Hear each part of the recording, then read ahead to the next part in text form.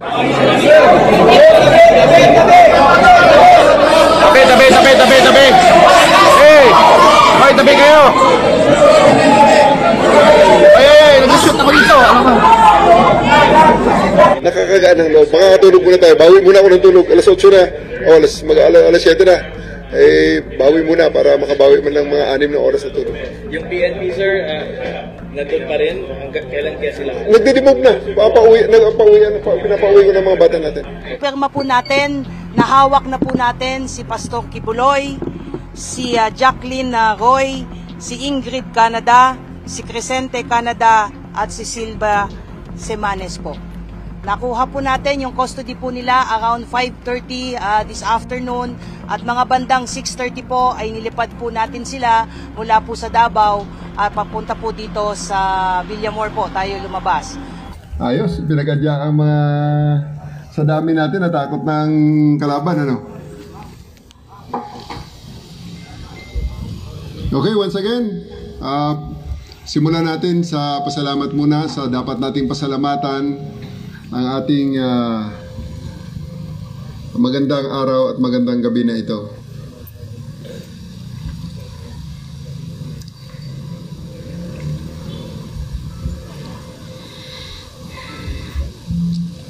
Manalangin tayo.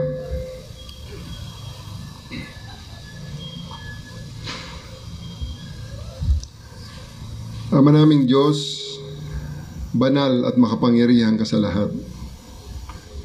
Maraming maraming salamat pong muli sa mga biyayang ibinigay mo sa amin sa nakaraan, sa kasalukuyan at sa mga darating pang mga panahon. Pinupuri, sinasamba at dinadakila namin ang iyong banal na pangalan. Ngayong araw na ito, Ama,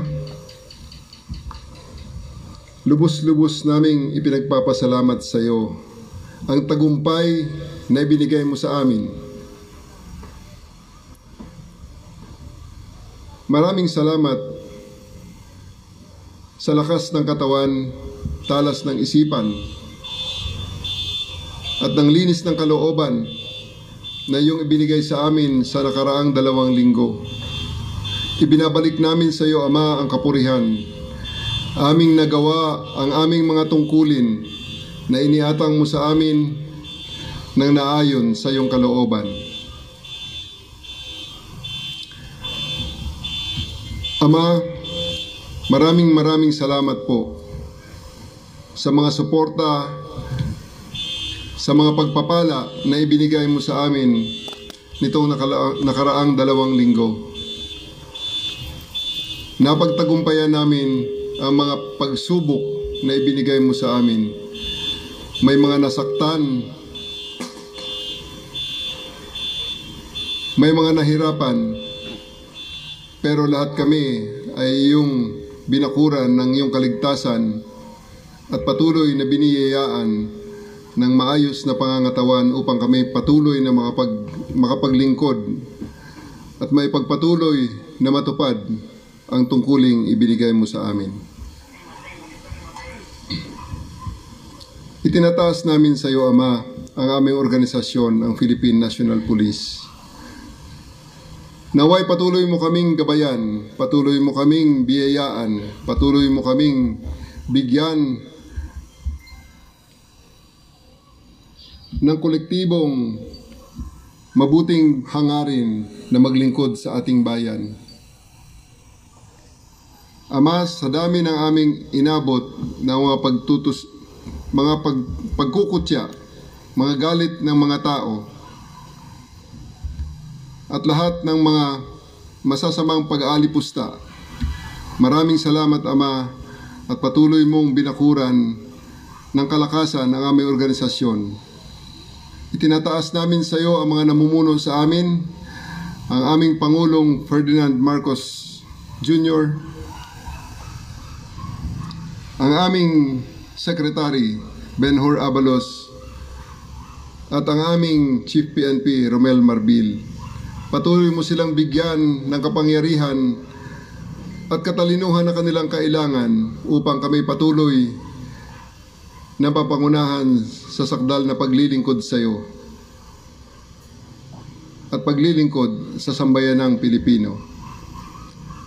Ang aming mga sambahayan na nawalay sa amin sa nakalaang dalawang linggo. Ama, maraming salamat sa iyong pagkalinga, sa iyong pagpatong na iyong mapagpalang kamay upang sila ay palaging ligtas kahit na kami ay magkahiwalay at kami ay nakapagtrabaho nang hindi namin sila iniisip na masyado. Ama, ang bawat isa sa amin, itinataas namin sa iyo ang aming mga kal- kalusugan, alisin ang aming mga karamdaman, pagalingin ang aming mga sakit upang kami patuloy na makapaglilingkod sa iyo at sasambayan ng Pilipino at higit sa lahat sa iyong banal na pangalan.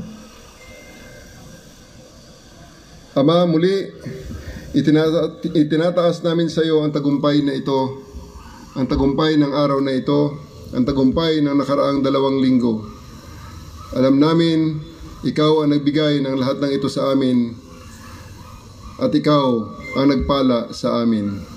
Kaya sa iyo uli namin itinataas at binabalik ang, ang aming pagpupuri.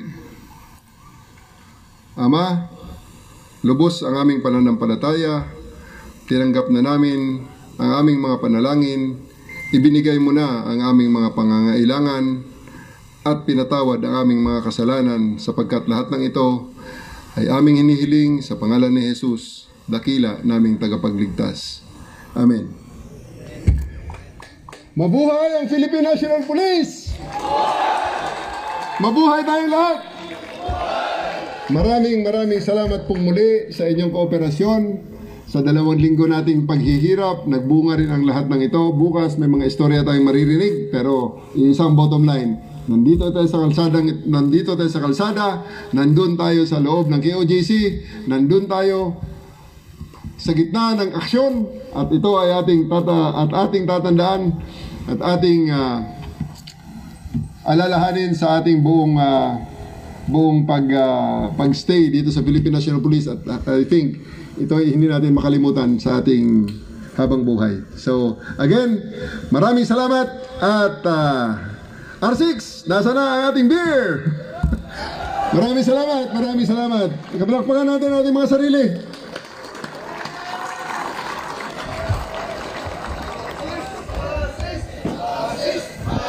Basis! Ayos! Oo naman! Sige, sasabihin natin kay Dio. Ah, lunes bukas. Mga pan siguro, no? Ah, siguro, lunes rin, no?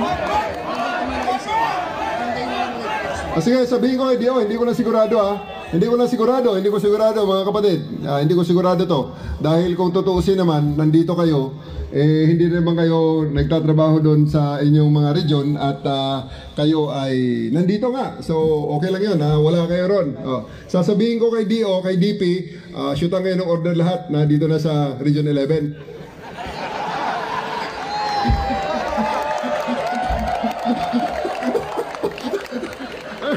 Akala ko ba gusto nyo? O tapos dito, i-declare ko, ah, ETA kayo, ah, bali, uh, kuha kayo, um, traveling. So one week, next week na kayo mag-report kay Arwan. Oh, Arwan ng Region 11. Ah, Arwan, Colonel Badang. Next week na natin sila hanapin. okay, sige. I'll try my best. Ah, I'll talk to DO. Baka mapunta rin ako ng karami bukas. Lahat ng mga tao na nandito, ah, at the very least siguro pwede kong sabihin na bi- mga Huwebes na kayo hanapin sa inyong mga unit, pero kung kaya ng ating powers, ah, sabihin ko sa flag raising na lang kayo kasi magbibigay tayo ng medalya para sa inyong lahat. Okay? Magbibigay tayo ng medalya. So, you will receive that medal on Monday. So, Monday na kayo papasok. Sabihin ko na kay... Try ko sabihin kay... Uh, kuha natin, kay DO. Hopefully, it will be granted. Okay? Pwede ba yan? kita natin ang sitwasyon dito ay labas-pasok lamang ang mga miyembro ng KOJC at tila ay may ah, programa sa loob. Normal lang naman na ang naging ah, sitwasyon dito. Makita natin sa sa mukha ng mga members ay ah, wala namang nag-iiyakan o nagalit o anumang mga reaksyon nila at ah, may sinubukan tayong kausapin kanina ng mga members ng KOJC at ah, no comment muna sila. Maging kanina si Attorney Dina Tolentino Fuentes, ang isa sa mga legal counsel ng KOJC ay wala din siyang komento na ibinigay kanina at ah, hintayin na lamang daw si Attorney uh, Israelito Torreon ng Chief Legal Counsel na magbigay ng ah, pahayag. Kanina nga alas 6 ng ah, gabi ay nakatanggap tayo ng ulat na nas, nasa kamay na ng mga otoridad itong leader ng KOJC na si Pastor Apollo Kibuloy matapos ang labing-anim na araw ng PNP operations dito sa KOJC compound. Ngayon makikita natin ah, ito, nag-aalisan na ang mga pulis galing sa loob ng KOJC compound. Natutuwa sila na natapos na itong operasyon dahil ah, makapagpahinga na sila matapos ang dalawang linggong ah, operasyon. Yan ang aalamin natin sa mga susunod na araw kung ano ba ang naging ah, nangyari, no? kung bakit ah, paano nahuli o kaya sumuko itong si Pastor Kiboloy. nga namin makipagkwentuhan sa inyo, ano po ang nangyari itong maghapon na ito at alam niyo po ba yung nangyari ng uh, pagkakahuli or pagkakasuko ni Apollo Kibuloy? Yung pagkahuli ni, ang particulars ng pagkahuli ni Pastor Apollo Kibuloy ay para, ah, pakitanong nyo lang sa SILG. Si SILG lang i-interview nyo dahil ang mga details nun ay hindi ko talaga alam. Okay, so paki na lang at uh, hindi Pero pa siya- hindi ko talaga alam ang mga details na Pero siya po ay nanggaling mismo dito sa Davao.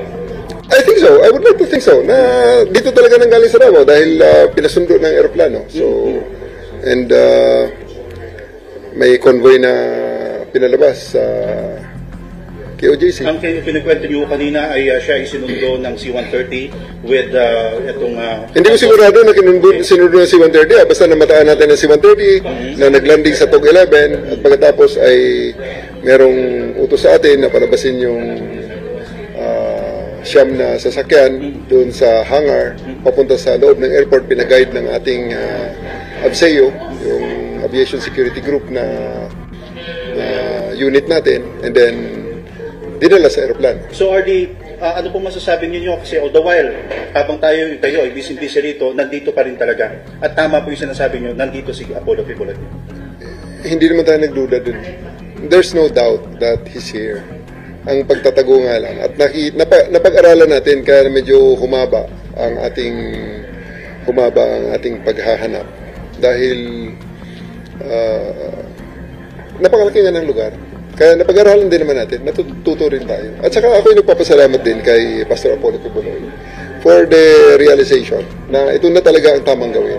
Kundi harapin na lang talaga ang batas. Ano po masasabi niyo ngayon sa inyo pong uh, sa tropa na matyagang nagantay, nag, uh, uh, nag-operate for 16 days, nandito sila?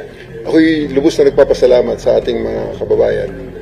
At sa ating, lalong-lalo sa ating kapulisan na nagpakahirap, nag, nag, ah, nagpuhunan ng dugo, pawis, luha at pawis para para ma para ma achieve ang mission na ito. So, maraming maraming salamat sa inyong cooperation. At ah, sagot ko ngayong gabi ang ah, lechon at ah, band. ano naman po masasabi ninyo, General, sa uh, mga mga taga KOGC? Ah, well, ako'y ah, nagpapasalamat din sa ating mga kapatid sa KOJC sa kanilang kooperasyon at ah, ah, may mga pagbabangayan siguro, pagkaka, hindi pagkakaintindihan at may mga engkwentrong mga maliliit lang naman. So, I do hope that ah, this will be the start of the healing at ah, hindi tayo magkaaway ho. Hindi niyo ako kaaway. I just played my role. Ito po talaga ang ibinigay sa akin na role, ibinigay sa aking trabaho.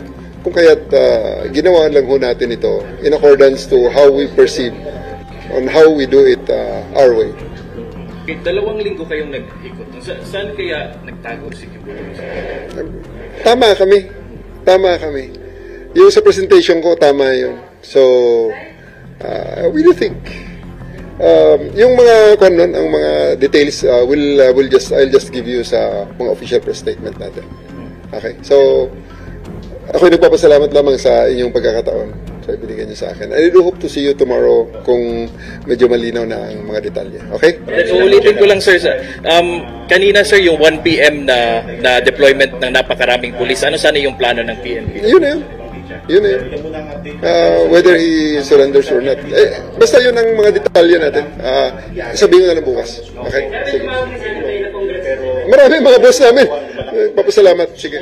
Tuloy na muna tayo. Reaction niya sir sa na nahuli, nahuli or na Ah, isa sa big, big relief. Napaka nakakagaan ng loob. Makakatulog muna tayo. Bawi muna ako ng tulog. Alas 8 na.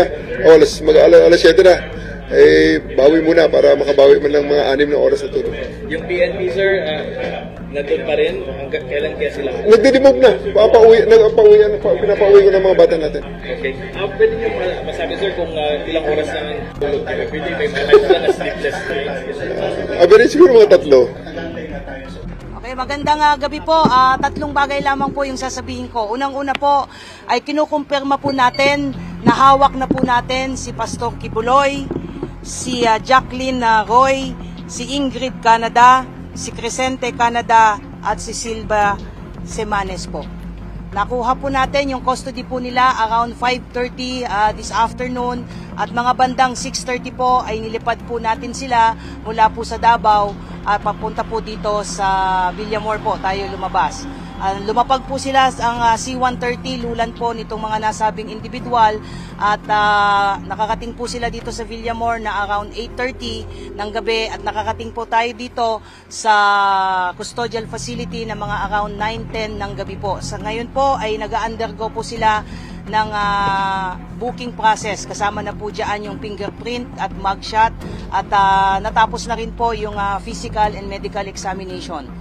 At ah, Nangyari po itong ah, pangyayari po na ito dahil kanina pong mga bandang alauna, uh, imedya po ng hapon ay nagkaroon po ng negosasyon para po sa mapayapa po nilang pagsuko dahil binigyan po natin sila ng ultimatum nang within 24 hours po ay kailangan po nilang sumuko at nagkaroon po ng negotiation. So, ito po ay joint efforts po ng PNP and AFP. Maraming salamat po. ba ng ano sila sa loob ng Kingdom of uh, Jesus Christ?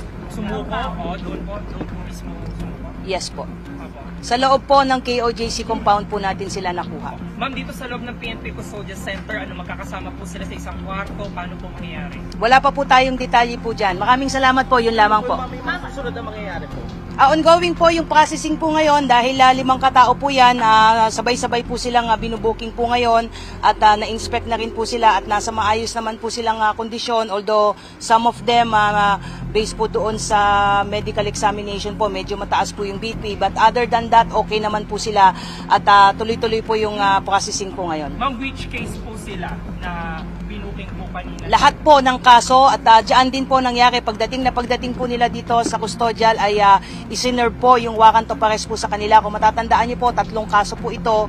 Ah, yung kay Pastor Kibuloy po, yung child abuse po, yung ah, ah, sexual abuse at yung pong ah, ah, qualified trafficking. So binasahan po sila ng mga kaso po nila at nakaharap po ang kanilang abogado po. At ah, pagkatapos po noon ay ah, binasahan din po sila ng kanilang mga Miranda rights at mga kakapatan po. At ah, pagkatapos po noon ay ah, ah, tuloy-tuloy na po yung ginawang proseso. Ongoing po yung proseso po. Nagbigay po ang PNP po ng ultimatum po na sumuko po sila otherwise po ay papasukin na po natin yung isang particular building na hindi po tayo pinapayagan pong pumasok. So nagkaroon po ng negotiation ang ah, PNP na kinatawan po ng ah, ng intelligence group at ISAP pinagtulungan po ito that ah, led to the ah, peaceful surrender po ni na Pastor Kibuloy at apat pa at ah, nagpapasalamat po tayo doon sa naging ah, naging mapayapa pong ah, at least nitong ah, proseso po na ito. Ma'am, in particular sila ma'am nagtago?